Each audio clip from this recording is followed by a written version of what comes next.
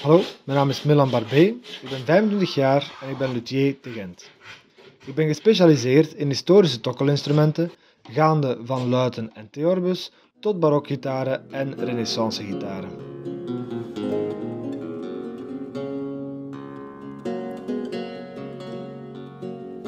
Na het afronden van mijn studies aan het Conservatorium te Gent heb ik besloten om mijn eigen atelier te starten hier in het centrum in mijn eigen woonkamer. Hier bouw ik regelmatig tot de vroege uurtjes verder aan mijn eigen instrumenten.